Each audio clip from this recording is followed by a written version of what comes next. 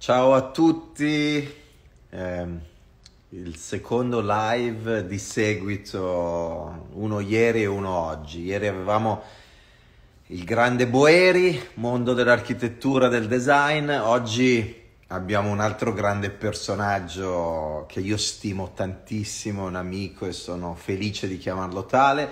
Andiamolo a cercare ed è Stefano Domenicali.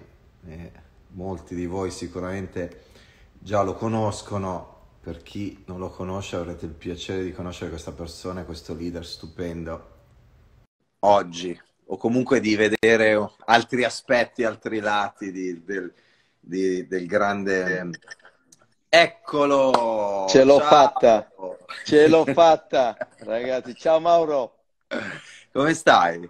Sto bene, sto bene, grazie per il tuo invito perché sei un, vabbè, sei un amico straordinario e ti ammiro tantissimo perché hai tantissime capacità. Io non invidio nessuno, eh, che sia chiaro, però tra virgolette ti, che ti invidio perché mi piacerebbe avere un po' della tua capacità comunicativa, della tua creatività, del tuo ingegno e del tuo, del tuo essere eh, all'avanguardia sull'eccellenza. Quindi mi fa tantissimo piacere collegarmi insieme in uno strumento che per me non è tanto semplice perché vedo i miei figli, soprattutto mia figlia, essere sempre collegata. Io, ahimè, te l'ho detto, su questo sono veramente un amatore, ma va bene così.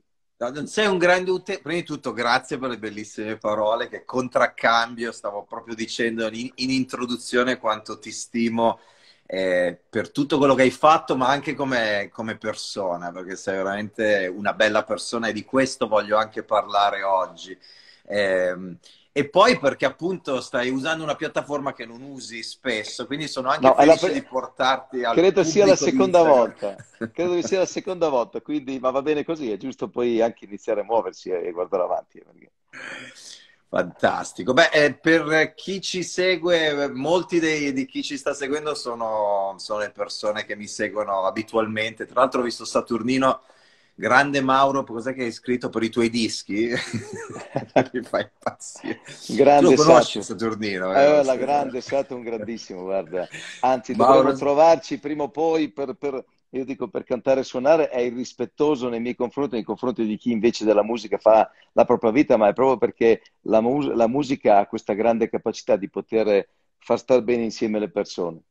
E poi parlando di, di, di, belle persone, Satu è un'altra di quelle belle persone di, di cui appunto eh, che, che, menzionavamo poco fa.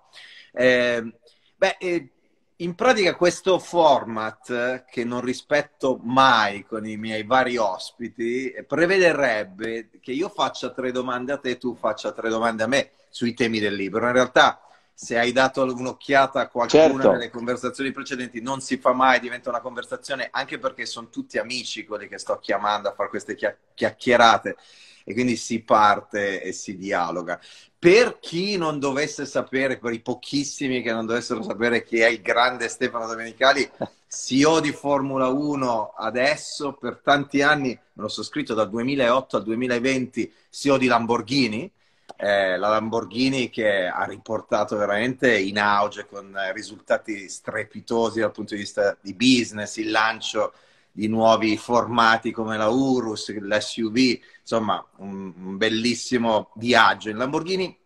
E prima eh, avevi un ruolo ancora una volta molto molto pubblico con, come team principal di Ferrari, quindi tanti ti avranno visto in televisione durante eh, la Formula 1, team principal per il team di Formula 1 di Ferrari. Quindi eh, un, uno di quei leader noti in tutto il mondo. Stefano, io lo incontro spesso a New York eh, ed è una star del business anche a New York e un po' in tutti gli angoli del pianeta. Tu adesso dove sei esattamente? Non Guarda, fi- no, ti dico, no, no, fisicamente sai, domenica scorsa eravamo a Zelteg in Austria per il Gran Premio e domenica prossima siamo di nuovo in Austria per il Gran Premio.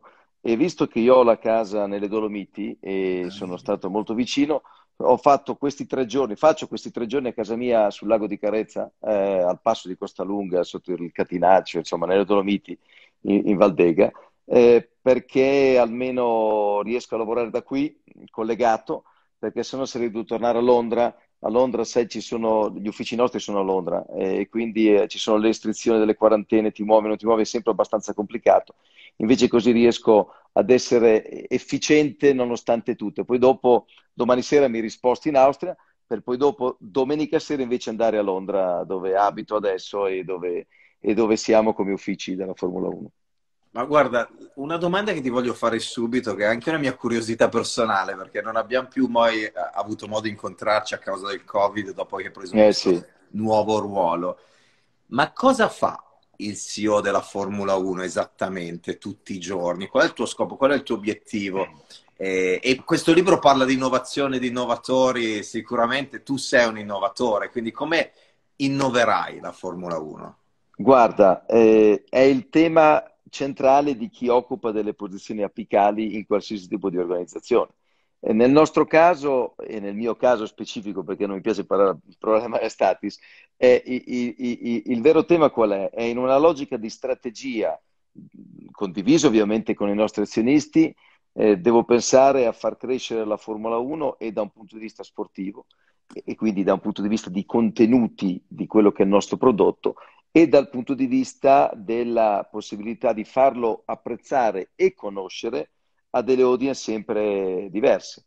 Eh, il, nostro, il, nostro, il, nostro, lavoro non è altro che, eh, come dire, massimizzare una forma di intrattenimento nello sport in una piattaforma di intrattenimento più estensiva come concetto. E quindi abbiamo eventi, abbiamo in questo momento 23 eh, circuiti che ci ospitano e quindi da un lato dobbiamo massimizzare quello che è l'esperienza vera e propria di chi partecipa a questo evento fisicamente, dall'altra parte dobbiamo allargare e far conoscere attraverso ovviamente la vendita dei nostri contenuti eh, sportivi a chi ci segue nelle varie piattaforme, eh, tradizionali, meno tradizionali, innovative e quindi proprio una logica di quello che dici nell'età dell'eccellenza in questo concetto di innovazione totale, io credo che una delle più grandi sfide che io eh, devo portare avanti con la mia squadra è quella di gestire la transizione in un mondo dove i media stanno trasformando e si stanno trasformando, trasformandosi quindi, eh, dove si è passati nella logica di vendere un prodotto televisivamente parlando a dei canali free to air, a dei canali che in questo momento sono pay TV, a quelli che saranno in futuro le trasmissioni digitali sui canali OTT. E in un contesto dove questo concetto di transizione non ha una velocità eh, unica, è anche diversa da paese a paese. Le piattaforme sono diverse da paese a paese. L'integrazione dei contenuti in queste piattaforme è diversa da paese a paese.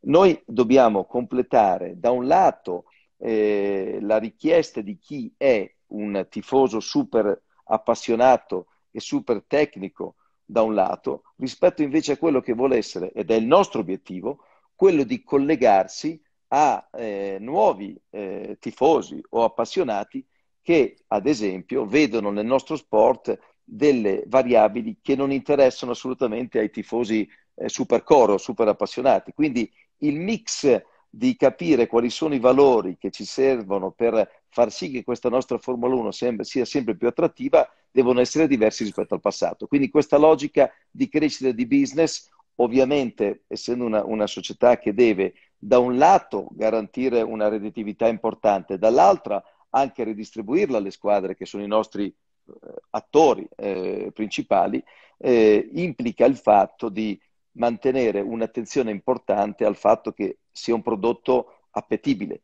e quindi vendibile. Eh, devo dire che questo, questo, tema, in un periodo come quello di oggi, dove il Covid sta cambiando tantissime regole del gioco, eh, ci vede protagonisti perché da un lato, ad esempio, nell'ambito di quelle che sono le offerte sui varie piste che girano, che, dove siamo in giro per il mondo, sta venendo fuori un'esigenza di fisicità sempre più elevata del ritrovarsi e quindi chi sarà in grado di offrire delle piattaforme, in questo caso sportive, ma anche estensive in un concetto di un'esperienza uh, di tre giorni dove oltre a vedere della Formula 1 ci sono altre attività sportive, ci possono essere, ci devono essere concerti musicali, esperienze digitali, esperienze interattive, questo lo stiamo facendo, lo dobbiamo preparare per essere pronti alla ripartenza che purtroppo, come vediamo, Mauro, è ad elastico. Tutti quanti pensiamo che sia eh, pronta per oggi, poi vediamo che riparte eh, ripartono queste, queste, questi, questi, picchi di, di, pandemia che non sono gestiti in maniera uniforme nel mondo, quindi ahimè la ripartenza sarà più lenta di quello che spereremmo tutti.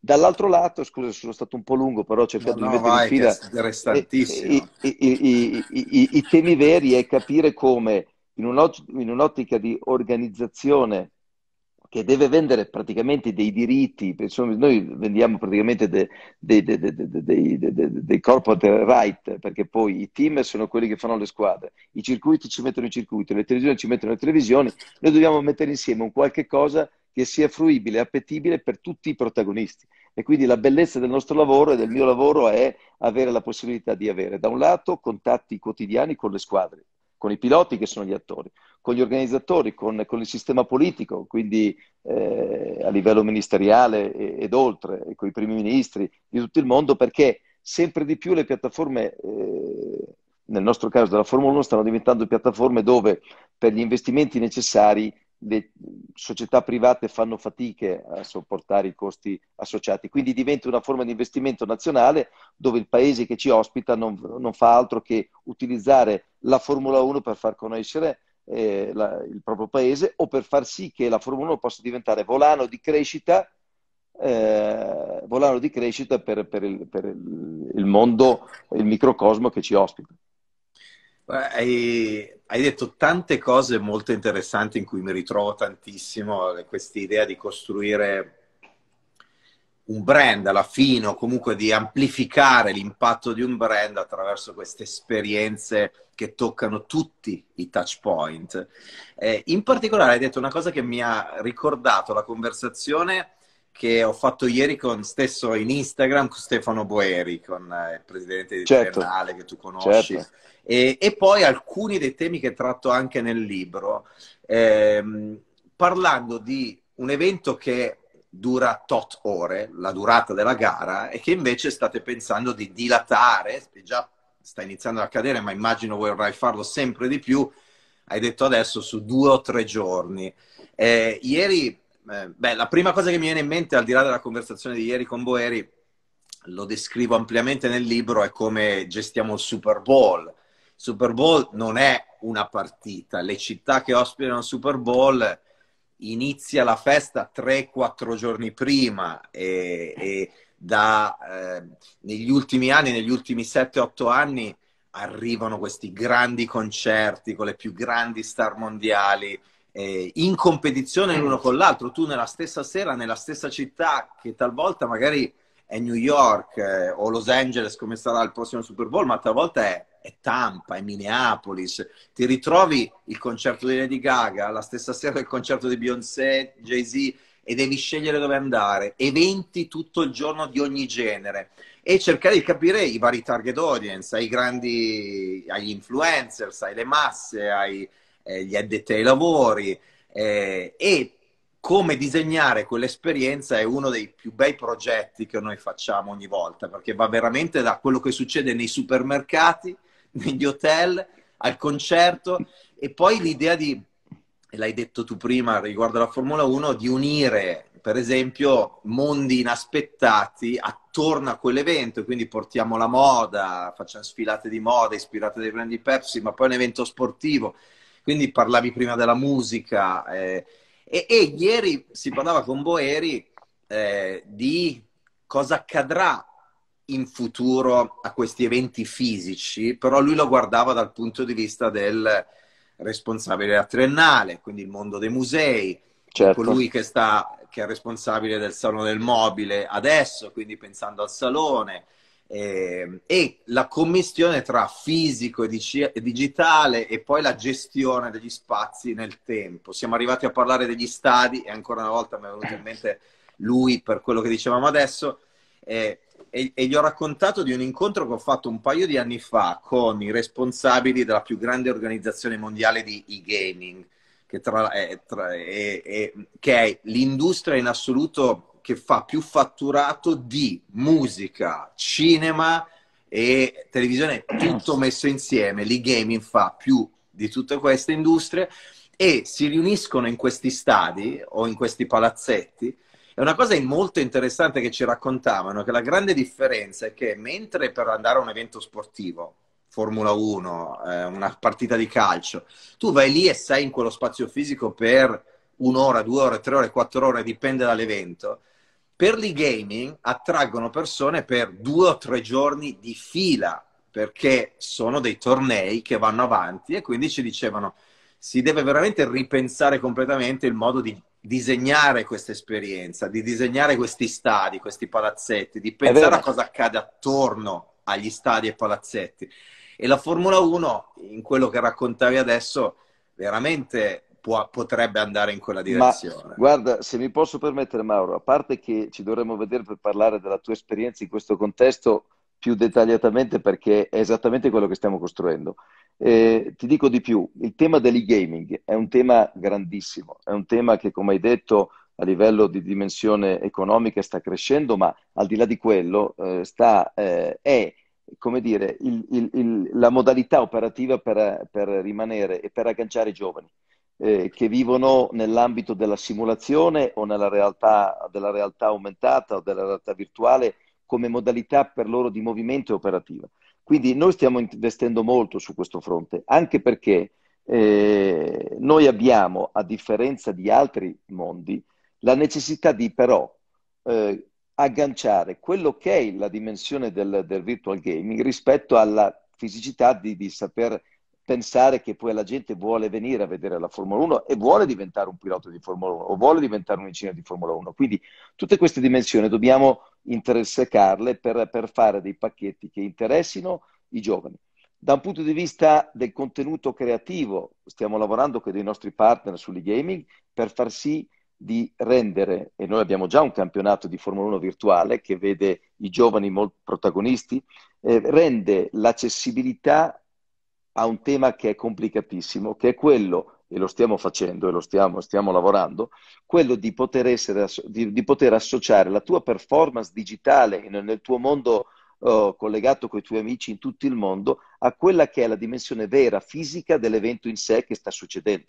Quindi questo è quello che stiamo cercando di fare e sarà straordinario non appena saremo in grado di farlo perché le complessità tecnologiche e tecniche sono immense, perché qui parliamo di, ad esempio, ti dico un dettaglio, poter pensare che il tuo simulatore, il tuo gioco con cui stai sfidando sulla pista dove in questo momento stiamo girando noi, ad esempio domani a Zeltec, abbia lo stesso tipo di posizione in tempo reale rispetto a, al sistema virtuale, quindi capisci che le complessità tecnologiche e tecniche sono immense. Però ci stiamo lavorando perché questo sarà un qualcosa di straordinario che stravolgerà anche da un punto di vista del business il, nostro mondo.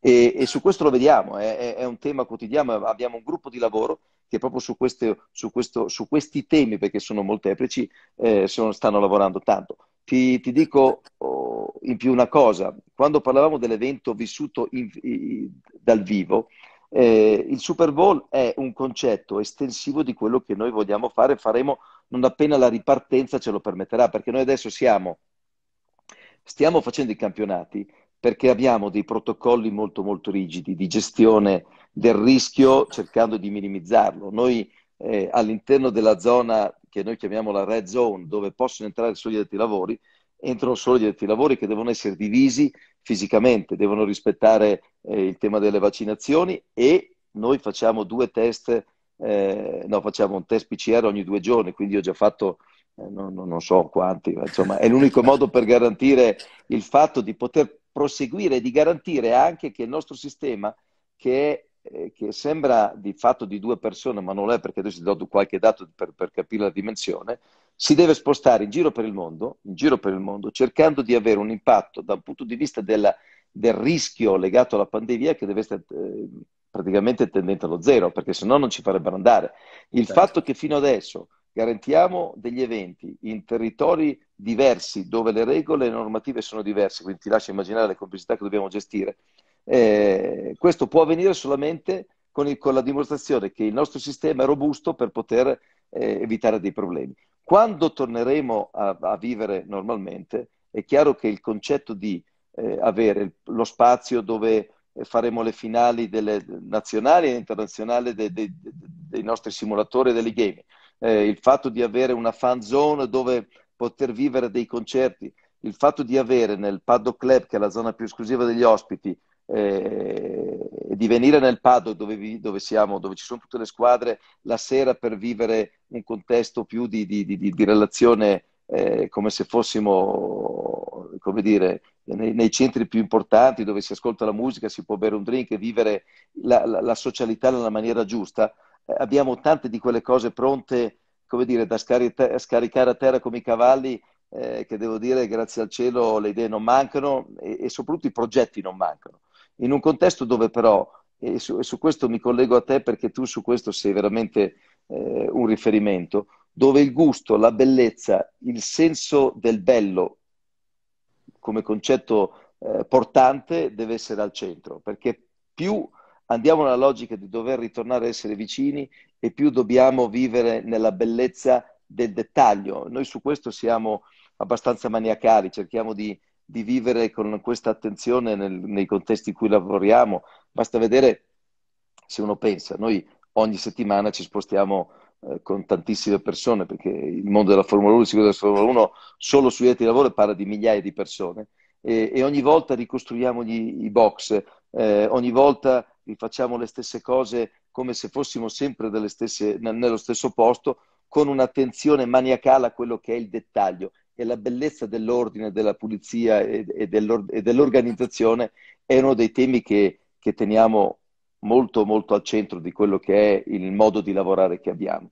Quindi se posso Beh, fare se, io guarda, una domanda. Su questo, su questo mi ricordo uno dei libri più belli che io abbia mai letto per l'ispirazione che mi ha dato la biografia di Steve Jobs scritta da Walter Isaacson e una delle cose interessanti eh, che raccontava Isaacson è che Job era talmente ossessionato dal tema della bellezza che addirittura lui voleva l'interno dell'iPod prima, dell'iPhone dopo, che fosse bello, che fosse bellissimo.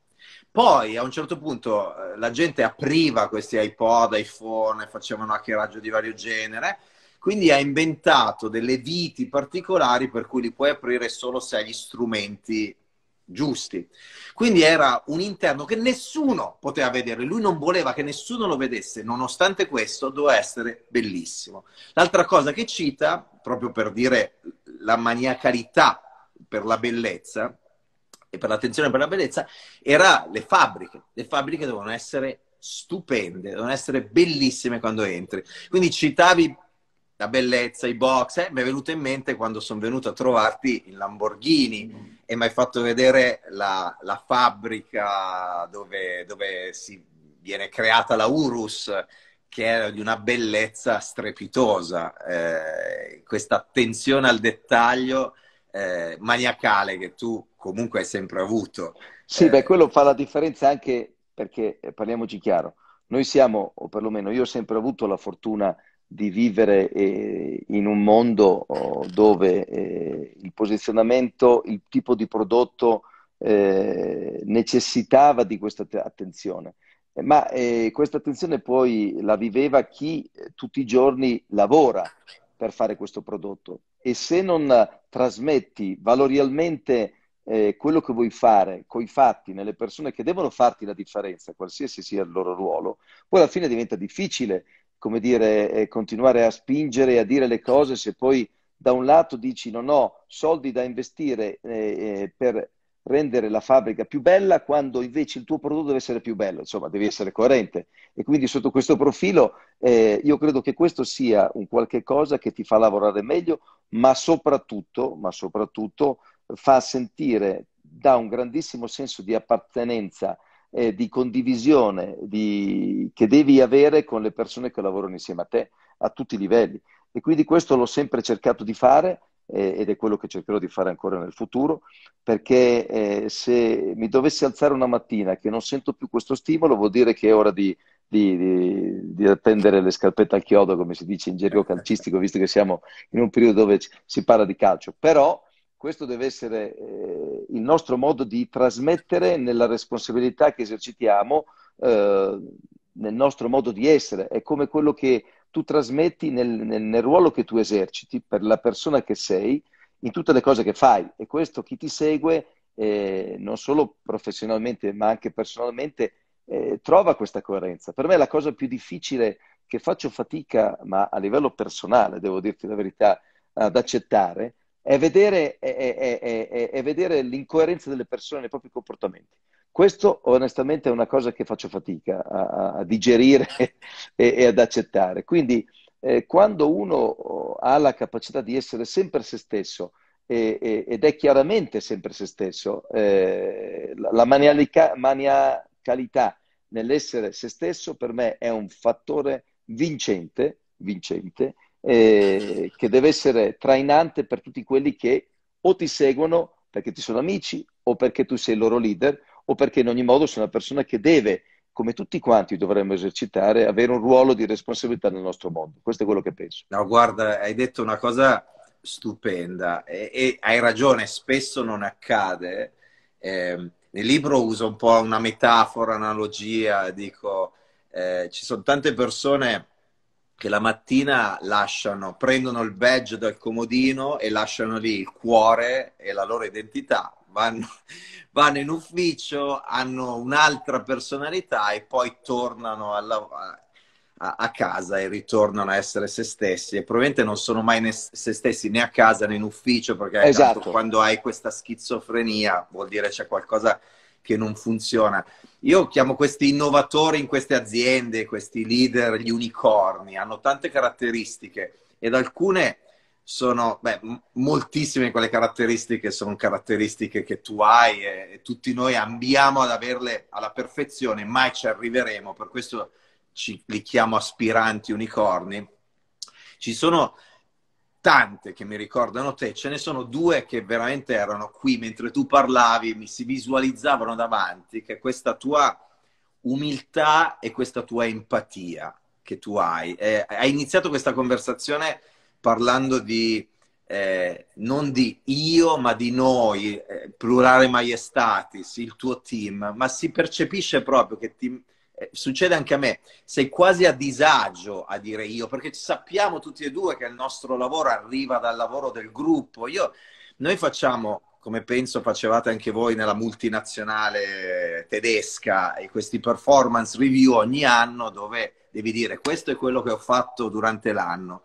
E, e poi ti misurano, ti, ti, ti assess- fanno un assessment della tua performance sulla base di quello che hai fatto. Io ricordo in 3M, quindi l'azienda prima di prima, quello che lavoro certo. adesso, che continuavo a scrivere we, we, we. A un certo punto le risorse umane mi hanno detto, ma che we? Questo è il tuo performance review, la devi smettere. Ma a me, io non ce la facevo a parlare di I. Tra l'altro anche all'inizio, addirittura all'inizio ero un middle manager senza team, ma sapevo che anche quello che facevo anche da solo e c'erano gli altri come il marketing, altre funzioni. Quindi questa idea di portare le persone con te, di farlo con empatia, di farlo con coerenza, tu sei così sul lavoro e sei così a casa, eh, è fondamentale. La, la, fabbrica disegnata in quel modo e le, immagino poi tutte le condizioni dei lavoratori e come di tutto il team, è, è parte di, di una filosofia di vita, di un approccio che è fondamentale e che purtroppo spesso non accade. E esatto. c'è un'altra dimensione, e chiudo, eh, che porta questo concetto in modo romantico all'estremo. E, e, ed è stato molto interessante dal, dalla pubblicazione del libro il 6 maggio scorso, tantissimi media, sia sulla carta stampata che in televisione, eh, si sono focalizzati su questo punto perché non se lo aspettavano da un executive di una multinazionale, ovvero il concetto della bontà che è un altro aspetto che io ritrovo in te, cioè questa, sai, noi con un gergo un po' più corporate la puoi chiamare empatia, poi c'è un, questo concetto di umiltà, ma, ma nessuno parla mai di bontà. E ci sono dei leader che hanno quella bontà, nel senso che sono persone che hanno a cuore le persone che stanno loro attorno, eh, che sanno come portarle con sé, che sanno che hanno dei filtri. Adesso parlo per me perché non conosco i tuoi team, ma li posso immaginare, ma io, io me li filtro tutti, i miei team devono avere questa caratteristica della, della, bontà, della kindness, che poi crea fiducia nel team, crea sinergia, crea efficienza, crea produttività.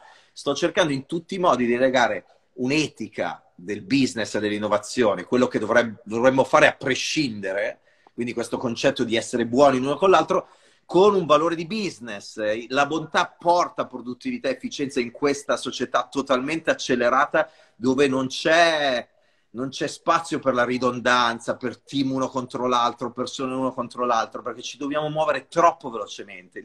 Il vecchio, il vecchio approccio al management in cui metti le persone in conflitto tra di loro e il migliore vincerà, secondo me non funziona più oggi semplicemente perché quel conflitto crea mancanza di efficienza all'interno delle organizzazioni. Hai due persone che fanno la stessa roba e uno vincerà, ma falli lavorare insieme sulla base di una logica diversa. Guarda Mauro, io credo che su questo punto, eh, sai, io dico sempre, ognuno di noi deve essere protagonista, nel senso che deve dare qualche cosa, in questo senso essere protagonisti. E, e la logica di vedere chi arriva nelle posizioni apicali come le nostre, di, di vedere queste persone che, tra virgolette, passimi non hanno cuore, io non lo vedo come un gran valore, lo vedo un grande disvalore perché parto da un presupposto molto banale. Innanzitutto eh, io non vorrei, eh, io cerco di non fare quello che veramente io non sopporto gli altri possono fare quando si relazionano con me. Parto da questo che forse è una banalità, ma non lo è tanto, perché io nella mia esperienza mi ricordo i comportamenti manageriali che mi hanno ferito, così come mi ricordo i, comport- i comportamenti manageriali che mi hanno fatto crescere. E quindi sotto questo profilo io non sono in grado di esercitare il mio ruolo attraverso dei filtri che sono poi delle maschere del tuo carattere. E perché poi prima o poi la maschera va giù, eh, perché tenerla in mano o l'elastico, quindi devi essere te stesso. Il mio essere me stesso parte da due presupposti che sono, eh, come vuoi, se vuoi anche molto basici. Il primo, eh, vivi- dobbiamo vivere bene la nostra vita. Noi abbiamo la fortuna di eh, fare un lavoro che ci, ci piace da matti, eh, che è molto interessante e che ha la caratteristica di essere bello. E quindi come fai a non essere bello e buono in un contesto di questo genere? Ma la bontà deve essere presa come un valore positivo, non come una negatività, perché il buono viene visto come uno che non ha carattere o che non ha la capacità di gestire eh, le altre persone. Questo purtroppo, se uno ha questo tipo di accezione, vuol dire che non è tanto intelligente e vuol dire che probabilmente, anzi sicuramente non merita di ricoprire determinati ruoli a qualsiasi tipo di livello. Poi è chiaro che declin- il declinare il tuo essere rispetto a chi ti ha attorno è quell'approccio che ti rende ovviamente intelligente nel capire le persone che ti sono intorno, perché c'è eh, questo tipo di necessità di, come dire, di, di dover essere nella tua eh, coerenza eh, comportamentale eh, di doverti poi muovere un po' a destra, un po' a sinistra, secondo di chi è intorno, ma la capacità di ascoltare e di capire che ti hai intorno è fondamentale per essere te stessi nel passaggio successivo. Questo per me è fondamentale. Hai detto bene, è quello che succede a te, cioè noi lavoriamo e saremo grandi se avremo delle squadre che sono più brave di noi. Questo è il mio, è il mio modo di, di, vedere le cose, anche perché si lavora meglio e soprattutto si deve lavorare col sorriso. Si deve lavorare col sorriso perché il sorriso è un, è un fattore positivo, il sorriso è positività e quando uno lavora in questo contesto non può non produrre bene, perché sennò c'è qualcosa che non funziona. E quindi il contesto di poter operare in, una, in, un, in, un, momento come quello di oggi, difficilissimo, se parti da queste basi, secondo me sei già molto avanti. E quindi, tornando al nostro, alla nostra coerenza, eh, il fatto di dover lavorare prima di tutto nel plasmare il gruppo che ti senti vestito bene addosso è come quando la mattina ti svegli pensando che hai la fortuna di dire cavolo, ho una, una giornata dove, dove, insieme alle mie persone devo fare la differenza per il lavoro che ovviamente svolgo. Dall'altra parte io dico la bellezza di, di vivere bene ti fa star bene e la gente lo capisce. Quindi se lo capisce e lo vive non con un senso di invidia, perché questo vuol dire che dall'altra parte c'è una persona che non capisce chi sei davvero, eh, fa stare meglio la nostra società. E quindi, visto che abbiamo dei ruoli che hanno anche una, una, una, una dimensione pubblica, eh, io credo che questo sia importante. In una fase della vita dove ci sono tanti problemi veri, no? io credo che comportamenti positivi possono generare in questo tipo di approccio diverso al, al vivere le cose perché poi alla fine eh, anche nel nostro lavoro ci sono tanti problemi da dover gestire, però un conto è gestire i problemi che fa parte del nostro ruolo, se no non saremmo qui, un conto è come li devi gestire e come li devi risolvere, coinvolgendo le persone che ti sono intorno e che fanno, ti fanno fare la differenza. In un contesto sempre più multiculturale, a cui noi dieci anni fa non eravamo abituati, e tu hai avuto la capacità e la bravura di andare fuori dall'Italia molto, molti anni fa e quindi hai avuto la, la, forza e la bravura di dover gestire dei gruppi di lavoro che sono trasversali in tutto il mondo e la, e la bellezza di lavorare con persone di culture, di età, di estrazioni diverse è straordinaria. Non è facile, però se riesci a, dire, a collegare tutto diventi in, in, invincibile. Questa è la sfida che insieme ai miei stiamo cercando di mettere in, in, dire, in fila perché come sempre le transizioni sono i periodi più difficili e più stimolanti, perché la visione probabilmente ce, chiara, ce l'abbiamo chiara tutti dove vogliamo andare. Come quando arrivarci sulla base degli strumenti che hai è, è, è quello per cui ci svegliamo tutte le mattine con lo spirito che perlomeno io, come te, come te viviamo e che ci deve far fare la differenza insieme agli altri. C'è Simona Valli che dice: Ma qui c'è da fare scuola a tantissime aziende. E poi eh, G Luca 5678 applaude, immagino tanti altri staranno eh, applaudendo a loro volta. Eh, mh, io, è uno dei motivi per cui sono molto pubblico in, mio, in, questo mio, in questa mia visione, nel senso ne parlo attivamente sui miei social, nelle conferenze, anche quando mi ritrovo in conferenze di puro business eh, o di certo. design, eh, chiudo sempre con le caratteristiche degli unicorni, col modo di comportarsi, di pensare, eh, perché prima di tutto penso che siano un valore fondamentale per le aziende. E poi, e, e quindi per questo ha senso e rilevante quel concetto in determinati contesti.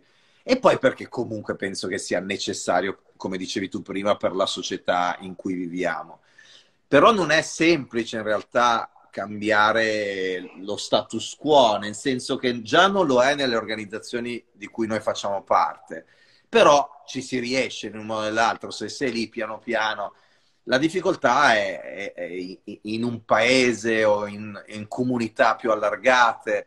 Eh, io penso che eh, se le scuole iniziassero a insegnare determinati tipi di valori, il valore dell'ottimismo, il valore della collaborazione, il valore del celebrare il successo altrui, il valore della resilienza, della curiosità, tutte, sto citando le caratteristiche degli unicorni, tutti i valori che alcuni hanno un po' dentro da quando sono nati, altri li hanno meno ma li potrebbero sviluppare, ma la realtà è che a prescindere se li hai o meno, l'educazione è fondamentale per creare consapevolezza sul valore di quei valori e poi per eh, allenarli e per svilupparli e per fare in modo che diventino proprio il DNA della società in cui viviamo.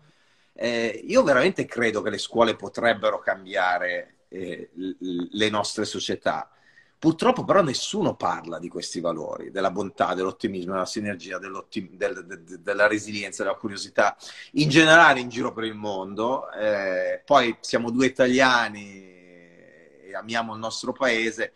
Penso che se l'Italia Davvero. riuscisse un po' di più a fare sinergia, a lavorare insieme, a celebrare il successo altrui, eh, con gli altri asset che invece già abbiamo come sistema paese, potremmo fare delle cose spettacolari come cosa ne pensi? Sono non d'accordo, stra d'accordo con te, caro Mauro. Io credo che noi eh, siamo un paese che ha la fortuna di avere nel DNA del, del, del, nostro, del nostro ceppo, perché poi alla fine è un qualche cosa di identitario, la capacità di essere in ogni modo in, clamorosamente coinvolgente. E quando parlo di clamorosamente coinvolgente, lo dico come capacità di trainare e di essere da esempio per altri. Perché noi siamo delle persone che in generale risolvono sempre tutte le situazioni. Risolvono tutte le situazioni in qualsiasi momento. Io l'ho vissuto in prima persona, così come te, e questo deve essere ed è un valore straordinario. Quindi se noi riuscissimo davvero, l'hai detto bene, a partire dalle nostre scuole, con le nuove generazioni, a puntare non su quei valori che ahimè sono molto forti adesso, eh, che sono quelli del contrasto, quelli del fatto che se perdi, eh, se, se, tu vinci, c'è, c'è, chi perde e quindi eh, avvalorare il concetto che è quello della forza, ovvero chi è più forte vince. Eh, se riuscissimo a uscire da questo, da questo populismo che, un po' becero, che onestamente non, non condivido per nulla, eh, perché attenzione, essere buoni, essere positivi, essere ottimisti non vuol dire non sapere, eh, non avere idee chiare, perché questo è, è, è il vero eh, grande come dire, eh, punto che mi sembra per me abbastanza evidente, ma per le persone non lo è, evidentemente. Essere positivi e buoni non vuol dire dover essere fermi e, e chiari e duri eh, di fronte a certe situazioni, a certi momenti. Eh, ci mancherebbe altro. È come dire, mi sembra talmente ovvio come tu ti chiami Mauro e mi chiamo Stefano. Però è sul concetto della modalità del passo successivo rispetto a questo momento che bisogna lavorare perché il, il momento del contrasto o della gestione del contrasto è una logica che, scusa, è un comportamento abituale della nostra società. È quello che succede dopo che è diverso rispetto al fatto di essere positivi o accoglienti nella gestione del dopo rispetto a essere invece direttivi e cattivi nella gestione di chi magari non la pensa come te. Su questo fronte il nostro essere italiani ci dovrebbe portare a sentire questa responsabilità che, che credo sarebbe straordinariamente bella condividere con il, con il, mondo che ci circonda. Noi, e questo siamo, devo dire, fortunati a, a, a vivere in, in, un contesto internazionale a livello mondiale, quindi ti rendi conto davvero di quelle che sono le, le cose che girano nel mondo. E quindi abbiamo questa forza che dovremmo riuscire a trasmettere in una maniera un po' più sistemica, e questo è il nostro problema, eh, e più organizzata, che questo è l'altro nostro problema, ma per le caratteristiche che abbiamo siamo delle persone come, come popolo eh, in trasformazione, è evidente che siamo in trasformazione, ma che ha eh, nell'humus di base questa caratteristica unica che non si trova con nessun altro al mondo.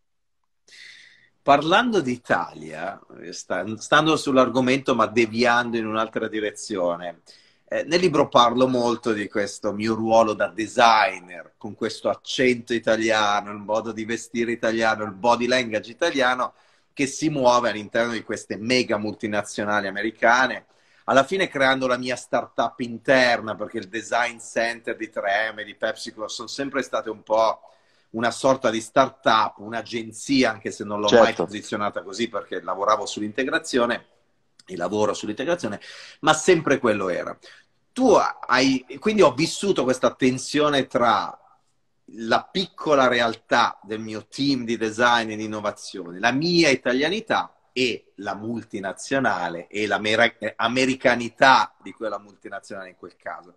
Tu in modi molto diversi hai vissuto un po' questa cosa, nel senso CEO di Lamborghini per 12 anni, piccola realtà, in realtà grande, ma piccola rispetto alla mega multinazionale che serve mercati su tutti i tiers, realtà del lusso, craftsmanship italiana. Come hai vissuto questa tensione tra l'agilità del brand di lusso italiano e la mega multinazionale tedesca Guarda, in quel caso? L'ho, l'ho vissuta cercando di, di, di far capire eh, che la perfezione del processo eh, è legata al fatto di avere le persone giuste nel processo non legata al fatto che il processo di per sé è talmente robusto che ci puoi mettere chiunque e il risultato è lo stesso. E quindi lavorando proprio sulla centralità delle qualità delle risorse umane, delle persone, all'interno di questa casella che in un contesto dove la multinazionale che ho lavorato prima, ovvero il gruppo Volkswagen e l'Audi, era non perfetto, di più.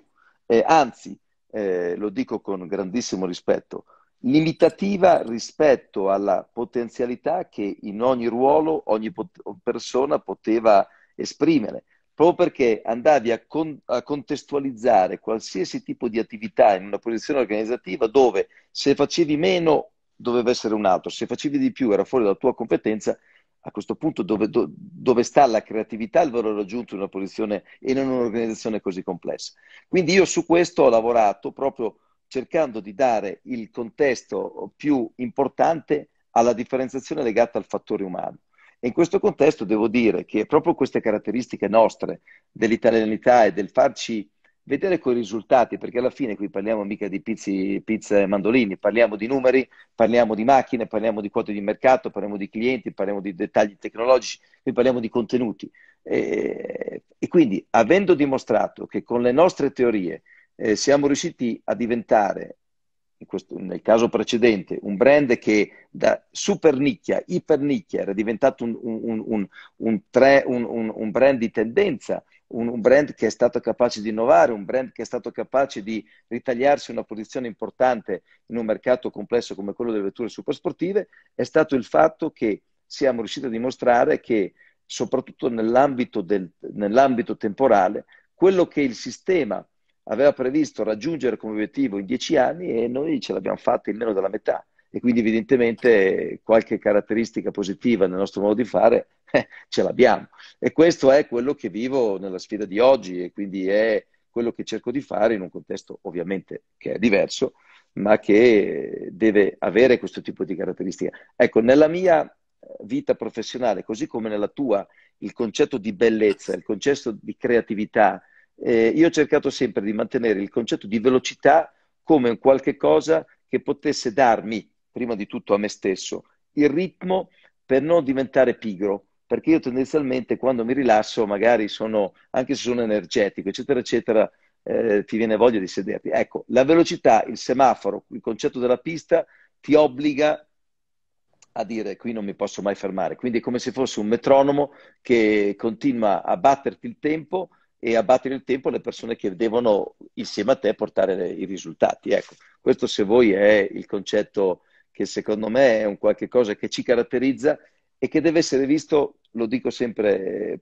come ho detto all'inizio, con la bellezza della musicalità che in ogni modo abbiamo dentro. Ognuno suona uno spartito, una chiave diversa di, di, di musica, però alla fine se tutti suoniamo insieme, eh, quello che viene fuori dall'orchestra è straordinariamente bello. Sai che parlavi di velocità, oltre ad essere uno stimolo per essere sempre al top e muoverti al, al ritmo giusto, oggi è più necessaria che mai, più del passato, è tutto, tutto accelerato. Eh, nel libro ne parlo ricordandomi un qualcosa che nulla a che fare col mondo del business, del design, è, è, quasi un leap, come direbbero gli americani, un salto mentale, che però è, interessante. Io tanti anni fa giocavo a calcio, giocavo eh, a livello semiprofessionista, mi pagavano, erano quattro allenamenti alla settimana, la partita, eccetera, eccetera. Eh, giocavo in eccellenza interregionale e eh, mi ricordo che ogni tanto ci si allenava con il Milan.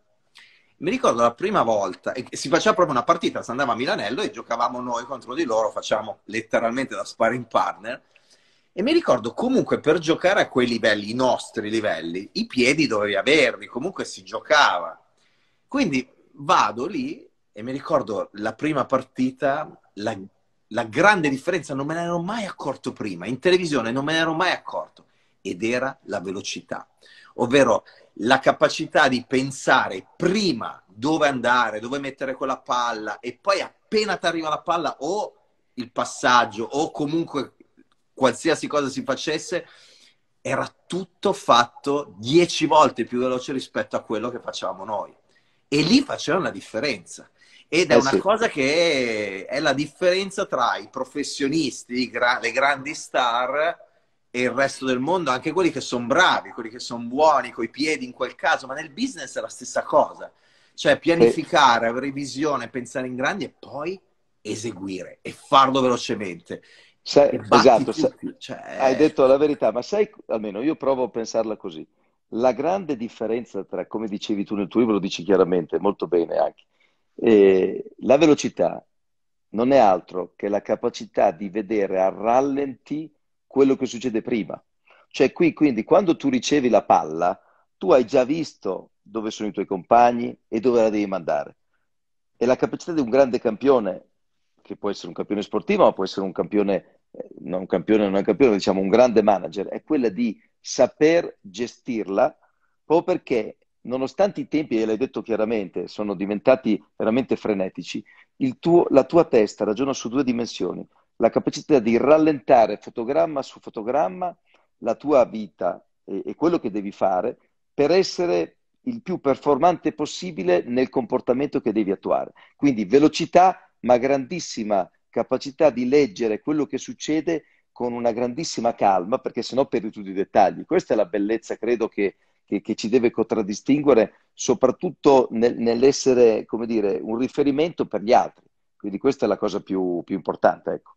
E, e c'è un elemento fondamentale per farlo, ovvero dobbiamo, eh, ancora una volta, è un, è un pilastro di, di, del libro, questa capacità costante di continuare a imparare. Dico, eh sì. c'è un, un quote. Lo dici sempre nel tuo libro. Sì, studenti sì. di vita, studenti a vita. Eh, perché la realtà è che in quel momento, in quell'attimo, in quel meeting di un'ora, in quella conversazione di cinque minuti, tu ogni tanto devi prendere decisioni importantissime che cambiano il destino di un team, di un'azienda, di te stesso. E in quell'attimo o fai leva su un'esperienza che hai creato nell'arco di anni e di un know-how che, che hai accumulato non con quello che o hai imparato a scuola o hai imparato in un ruolo specifico che tu hai avuto nell'arco degli anni, ma in quello che hai imparato andando oltre il programma scolastico e successivamente al ruolo che ti avevano dato. Io dico sempre ai miei, tu sei un graphic designer o un industrial designer, devi avere quella curiosità che ti spinge a imparare tutto di fashion design, industrial design, interior design e poi di business, di ricerca e sviluppo. Io quando mi ritrovo a parlare, non so, sullo stage del World Business Forum, davanti a CEO e business leader, io non ho studiato business, io non ho un MBA, però il mio MBA stato, sono state 3M, PepsiCo, questi grandi leader che ho incontrato in questi anni. Ma cosa è successo? Beh, ho avuto la voglia, la curiosità di trasformarli in miei mentori, di trasformarli in modelli di ruolo, di imparare, di assorbire. E quindi quando mi chiedono dove trovi ispirazione o quando si pensa a come crescere i talenti all'interno dell'azienda, sì, Possiamo trovare ispirazione facendo cose straordinarie, possiamo crescere i talenti con dei programmi perfetti disegnati a tavolino da noi e le risorse umane, ma la verità è che sia a livello di tua ispirazione personale, sia a livello di crescita come talento, il 90% arriva da dentro di noi arriva da quella voglia di imparare costantemente, di vedere ogni conversazione, ogni viaggio, ogni meeting, ogni libro, ogni amico, ogni esperienza come un'opportunità opportunità di apprendimento. E ci vuole una consapevolezza pazzesca perché ti possono passare davanti delle cose incredibili da cui potresti imparare eh, cose incredibili e non te ne accorgi. E poi non serve incontrare Stefano Domenicali, il CEO No, puoi imparare anche da un ragazzino che ti fa una domanda inaspettata e tu sei predisposto a capire il significato di quella domanda e l'impatto epocale che può avere nella tua vita, nella Guarda, sua ingenuità. È, è così e, e, io ti dico prima di concludere perché purtroppo devo andare a una riunione di collegamento per vedere in Austria cosa succede domani, ma a parte gli scherzi, hai detto una cosa importantissima, la capacità di rimanere in ascolto di eh, registrare quello che succede e di camerare con una curiosità pazzesca tutti i segnali che la vita ti offre. E questo l'hai detto bene e lo condivido. Se voi, è quello che ogni tanto provo anch'io quando mi trovo di fronte a delle personalità che dici wow, questi, sai, nel nostro mondo abbiamo la fortuna di dover eh, contrapporci o relazionarci con delle persone che eh, sono dei personaggi veri, ma veri veri, quindi e quindi, sai, lì non è leggere i libri, è cercare di essere te stesso nel, nel cercare di sintetizzare quello che raccogli eh, ascoltando tutto quello che ti circonda. E, e, di, e, e, se uno è così non deve tem- temere nulla, nel senso che non deve vergognarsi, non deve, non deve avere la paura di non essere all'altezza. All'altezza non è chi eh, non, non, può esserlo per il, per, perché è un arrogante, perché eh, perché è uno fuori posizione, ma le persone belle, tornando per chiudere il concetto della bellezza, si devono trovare bene per forza, in qualsiasi modo, perché per me la bellezza è un concetto estensivo che raccoglie tutto quello che hai detto, che dici nel tuo libro, eh, che parte dalla voglia di stare bene, dall'ascolto, dal, dall'umiltà, da, dalla voglia di crescere, dalla voglia di essere un riferimento e la voglia comunque di lasciare qualcosa di positivo in quello che fai, perché poi alla fine eh, anche oggi è passato un altro giorno e, e, e, dobbiamo affrontare un altro. E quindi se non facciamo anche un debriefing costruttivo di quello che abbiamo fatto oggi, vuol dire che non siamo pronti per affrontare il domani. Ecco. Concludo con questa massima. Bellissimo. Ma è uscito tutto quello che tu veramente rappresenti in questa conversazione. Quindi eh, veramente complimenti per tutto quello che stai facendo a livello di business, ma complimenti anche e soprattutto per come lo stai facendo, che è una cosa che mi ha sempre affascinato di te. Spero di vederti presto. Anch'io, speriamo proprio. Speriamo proprio, Mauro. Tu lo sai che la Formula 1 è casa tua adesso, quando vorrai, e poi appena potremo girare eh, ci vediamo di sicuro. Molto, Grazie molto di, di, questa grande opportunità. Grazie. E in bocca al lupo per il libro perché sta andando alla grande. Ciao e ciao, ciao a tutti, ciao a tutte le persone che ci hanno seguito. Ciao a tutti. Adesso mi devi dire come devo spegnere, ma vediamo. Ah, spengo io, ciao. dovrebbe spegnersi, vediamo. Okay. Ciao, ciao Stefano. Ciao, ciao, ciao Mauro, grazie.